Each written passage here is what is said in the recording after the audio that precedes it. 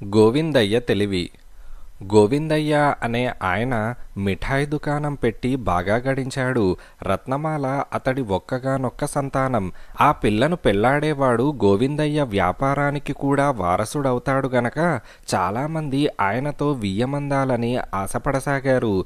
గోవిందయ్య కూడా తగిన సంబంధం వెతికే ప్రయత్నంలో లింగయ్య అనే అతడి కొడుకును గురించి విచారించాడు.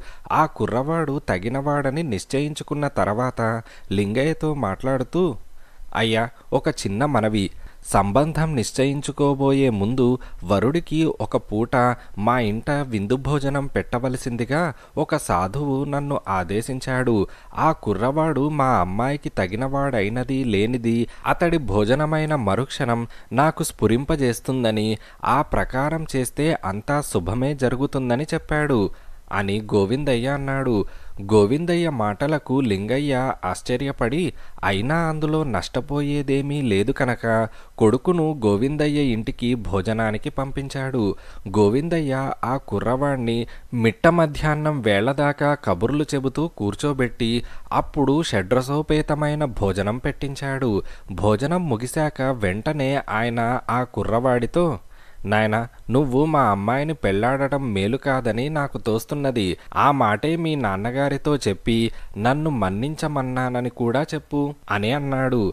లింగయ్య కొడుకు నిరాశపడినా చేసేదేమీ లేక మౌనంగా వెళ్ళిపోయాడు.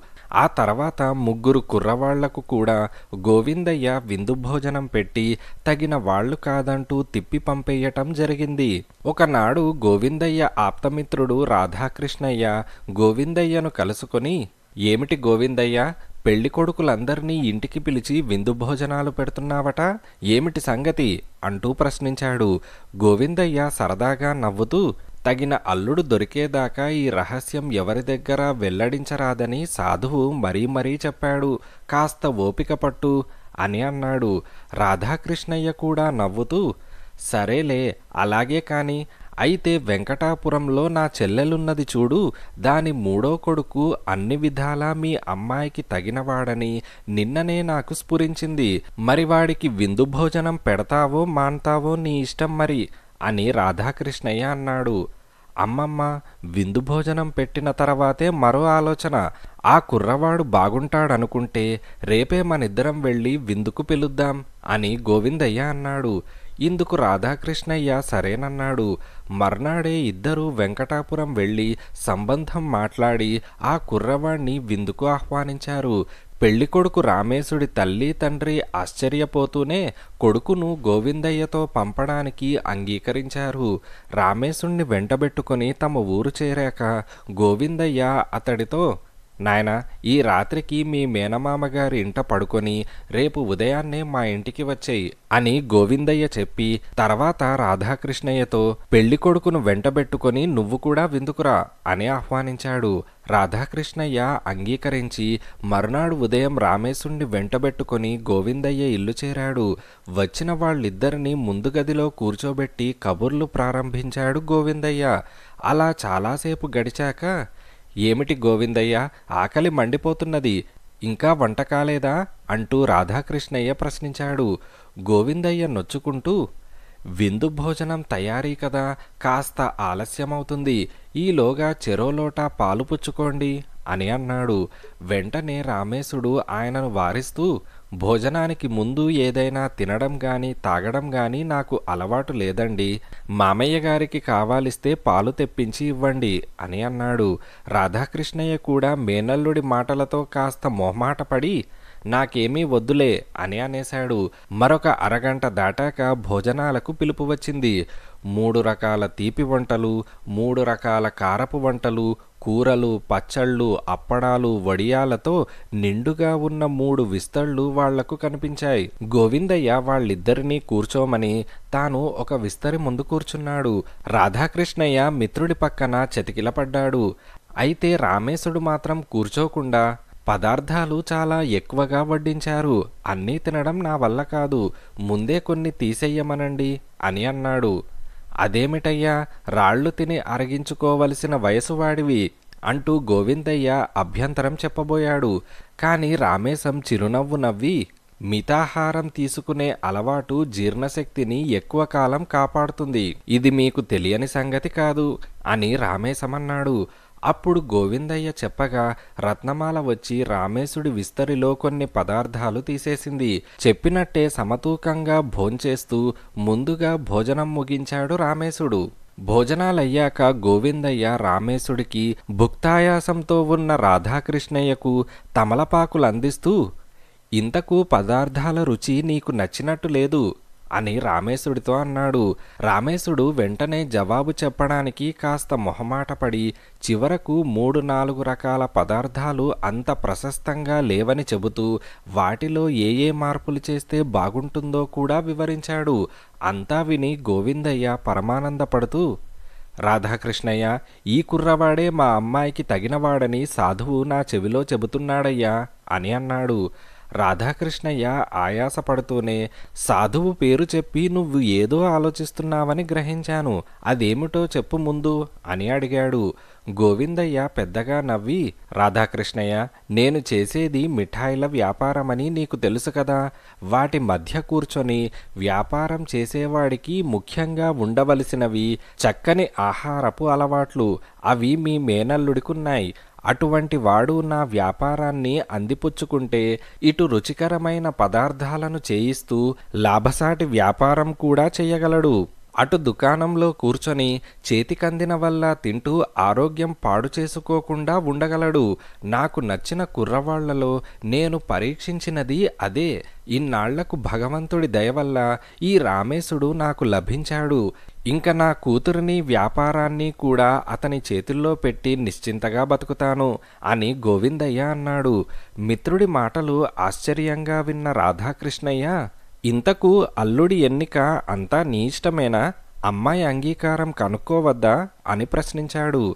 దానికి గోవిందయ్య మీ భోజనాలయ్యాక మీరు ముందు గదిలో కూర్చున్నప్పుడు నేను లోపలికి వెళ్ళింది రత్నమాలకు నా అంగీకారం తెలియజేసి దాని ఇష్టాయిష్టాలు కనుక్కుందామనే. నా కూతురుకు ఈ సంబంధం ఇష్టమే. పోతే తనకు ఇష్టమో కాదో చెప్పవలసింది రామేశమే అని గోవిందయ్య అన్నాడు. వెంటనే రాధాకృష్ణయ్య మేనల్లుడికేసి చూసి నువ్వేమంటావు? అని అడిగాడు. వెంటనే రామేశుడు ఎంతైనా ఇట్టే ఆలోచించగల సమర్థులు గోవిందయ్య గారిని కాదని ఎలా అంటాం మామయ్య? అని రామేశమన్నాడు. ఆహా కాబోయే అల్లుడి చేతే పొగిడించుకుంటున్నావు. తెలివంటే నీదేనయ్యా గోవిందయ్య? అంటూ రాధాకృష్ణయ్య నవ్వుతూ మిత్రుణ్ణి అభినందించాడు. కొన్ని రోజులలోనే ఒక శుభముహూర్తాన రామేశానికి రత్నమాలకు వైభవంగా వివాహం జరిగింది. గోవిందరాజు చిట్కా పూర్వం గోపాలపురంలో గోవిందరాజనే తెలివైన వాడుండేవాడు. అతడి ప్రత్యేకత ఏమిటంటే ఎవరైనా ఎదుటివాణ్ణి లౌక్యంగా మోసగిస్తే ఆ మోసగించిన వాణ్ణి తిరిగి అదే లౌక్యంతో మోసపోయేలా చేయడం. ఒకసారి సుబ్రహ్మణ్యం అనే పురోహితుడు సుందరశెట్టి ఇంట్లో కేదారనాథ వ్రతం చేయించాడు. వ్రతం పూర్తయ్యాక సుందరశెట్టి సుబ్రహ్మణ్యానికి స్వయంపాకమిచ్చి తాంబూలంలో దక్షిణగా రూపాయి పావలా పెట్టి నమస్కరించాడు. సుబ్రహ్మణ్యం ఆ అతి తక్కువ దక్షిణను తీసుకుంటూ శెట్టిగారు నాలుగు రూపాయలిచ్చినా వరహా దక్షిణ ఇచ్చినట్టవుతుంది. బొత్తిగా రూపాయి పావలా మీ తాహతకు తగ్గట్టు లేదు అని అన్నాడు. శెట్టి ఆ మాటలకు నవ్వి శాస్త్రిగారు అచ్చివచ్చిన పని చేయడం మా తాతల కాలం నుంచి వస్తున్న ఆచారం. వాళ్ళ కాలం నుంచి ఏడు తప్పకుండా కేదారనాథ వ్రతం చేస్తున్నాం. అదే పూజ అదే కథ.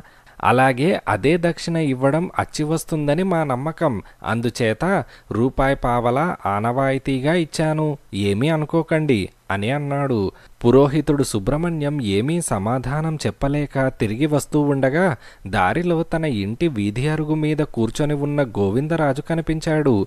శెట్టి తనన్ను తగిన విధంగా గౌరవించలేదని బాధపడుతున్న పురోహితుడు గోవిందరాజు దగ్గరికి పోయి అతడి పక్కన కూర్చొని తను శెట్టి చేత కేదారనాథ వ్రతం చేయించి తిరిగి వస్తున్నానని చెప్పాడు. గోవిందరాజు పురోహితుడు ముఖంలో ఏమాత్రం సంతోషం లేకపోవడం గమనించి శెట్టి ఈ మధ్య వ్యాపారంలో లాభాల మీద లాభాలు గడిస్తున్నాడు అయినా దక్షిణ బాగా ముట్టజెప్పలేదా ఏంటి? అని అడిగాడు.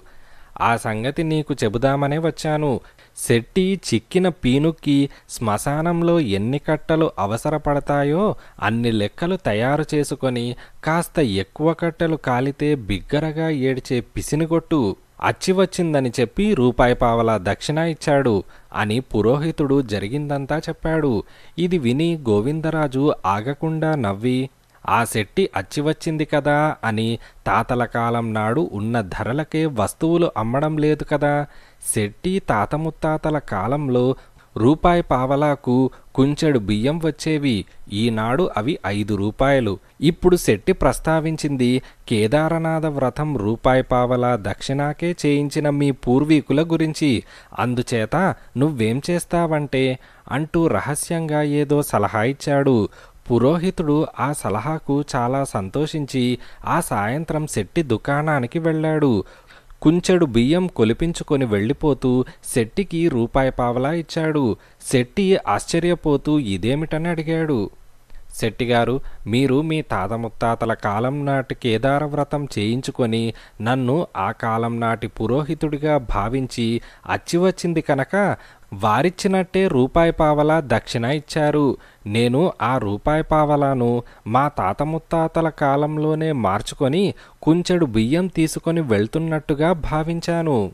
ఇది కూడా మాకు పౌరహిత్యంలో తాతల కాలం నుంచి అచ్చివచ్చిందే అని పురోహితుడన్నాడు. సంగతి అర్థమై దుకాణం దగ్గర ఉన్న వాళ్ళందరూ పెద్దగా నవ్వారు. శెట్టి సిగ్గుతో తల వంచుకున్నాడు పురోహితుడికి ఇంత తెలివైన సలహా ఇచ్చింది గోవిందరాజని వారం తిరక్కుండానే గ్రామంలో అందరికీ తెలిసిపోయింది. జనం అతన్ని తెలివైనవాడు మంచి లౌక్యుడు అని మెచ్చుకోసాగారు. అయితే గోవిందరాజు మాత్రం వాళ్ళతో మనం తేలిగ్గా మోసపోయే విషయాల్లోని మెలికను కనిపెట్టి ఆ మెలికను మనన్ను మోసగించిన వాళ్ళకు బిగుసుకునేలాగా సలహా ఇవ్వడం లౌక్యం కాదు. తెలివితేటలు అంతకంటే కాదు. నేను పురోహితుడు సుబ్రహ్మణ్యం విషయంలో ప్రయోగించింది చిట్కా మాత్రమే. అయినా చిట్కాలు అన్ని వేళలా ఫలించవు అని గోవిందరాజు అనేవాడు. ఏమైనా? ఆ తర్వాత ఒకటి రెండు విషయాల్లో గోవిందరాజు సలహా బాగా పనిచేయడంతో గ్రామంలో తమకేదైనా సమస్య వస్తే చాలు. గోవిందరాజు ఏమైనా చిట్కా ప్రయోగిస్తాడేమో కనుక్కుందాం అంటూ అతడి దగ్గరకు వచ్చేవారు. ఒకసారి అక్కాయమ్మ అనే విధవరాలు ఇద్దరు ఆడపిల్లలతో గోపాలపురం వచ్చింది. ఆమె భర్త కాలం చేశాక అన్నగారు ఆమెను తన ఇంట ఉంచుకున్న వదినగారు మాత్రం సూటిపోటి మాటలతో తేరగా ఇంట చేరి తింటున్నారు. దిక్కుమాలిన సంత అంటూ విసుక్కునేది. ఈ మాటలు భరించలేక అక్కాయమ్మ గోపాలపురం వచ్చి ఇల్లు అద్దెకు తీసుకొని పూటకూళ్ళు పెట్టడం ప్రారంభించింది. గోపాలపురం చుట్టుపక్కల గ్రామాల సంతలకు కూడలి కావడంతో ఆమె పెట్టే భోజనం పలహారాలు రుచిగాను శుచిగాను ఉండడంతో జనం బాగా రాసాగారు. అదే గ్రామంలో కిట్టప్ప అనేవాడు ఎంతో కాలంగా పూటకూళ్ళ ఇల్లు నడుపుతున్నాడు. అక్కాయమ్మ కారణంగా వాడి వ్యాపారం దెబ్బతినసాగింది. వాడు ఇద్దరు కిరాయి మనుషులను పురమాయించి అక్కాయమ్మ పూటకూళ్ళ ఇంటికి భోజనానికి పంపాడు. వాళ్ళు భోజనం చేస్తూ వెంట తెచ్చిన బొద్దింకలను పులుసు కూరలో వేసి బయటికి తీసి ఛీ ఏం కలికాలమో ఏమో అన్నం అమ్ముకోవడమే పాపం. పైగా అందులో బొద్దింకలు ఇలాంటి భోజనం పెట్టిన వాళ్ళు రౌరవాది నరకాలు అనుభవిస్తారు అని కేకలు పెడుతూ విస్తరి ముందు నుంచి లేచిపోయారు. దీనితో ఆ సమయంలో భోజనాలు చేస్తున్న వాళ్ళలో కలకలం బయలుదేరింది. వాళ్ళు వంటకాలు తయారు చేసేప్పుడు అజాగ్రత్తగా ఉన్నదంటూ అక్కాయమ్మను గట్టిగా చివాట్లు పెట్టారు.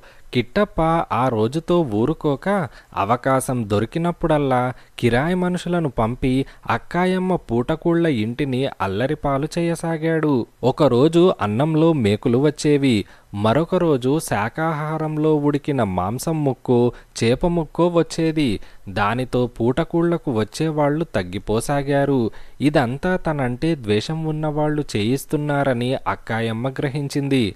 ఆమె ఒకరోజు గోవిందరాజు దగ్గరికి వెళ్ళి జరుగుతున్నదంతా చెప్పి ఏదైనా మంచి సలహా ఇవ్వమంటూ బావురుమన్నది. గోవిందరాజు ఆమెతో యాచకుడికి యాచకుడే శత్రువు అలాగే వ్యాపారికి కూడా వ్యాపారే శత్రువు. తన పూటకూళ్ళ వ్యాపారం దెబ్బతింటున్నదని కిట్టప్ప ఈ అల్లరి పనులు చేయిస్తూ ఉండాలి. నువ్వొక పని చెయ్యి గుండప్పతో మాట్లాడు. వాడికి నానేవాళ్ళు లేరు. పది మందిని తన్నగల సత్తా సాహసముంది. వాడు కూలి పని చేసుకొని నిజాయితీగా పొట్టపోసుకుంటున్నాడు వాడికి నువ్వు డబ్బులు పుచ్చుకోకుండా భోజనం పెట్టు. వాడు నీకు రక్షా కవచమవుతాడు అని గోవిందరాజు సలహా ఇచ్చాడు.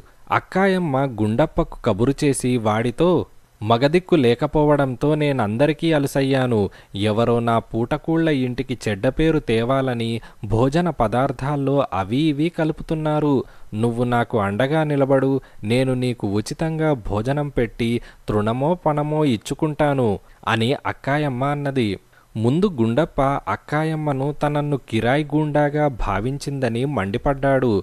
తర్వాత గోవిందరాజు సలహా ఇచ్చాడని విని శాంతంగా ఆలోచించి ఇందులో తనకేదో మేలున్నదని సరేనన్నాడు.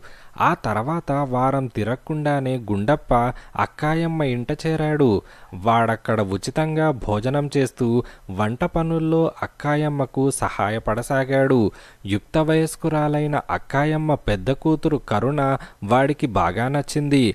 ఆ అమ్మాయి కూడా రోజులు గడిచే కొద్దీ వాడి పట్ల ఎంతో ఆదరభావం చూపసాగింది. నానేవాళ్ళు లేని తను అక్కాయమ్మకు అండగా నిలబడితే ఏదో ఒకనాడు అల్లుడిగా స్థిరపడిపోవచ్చు.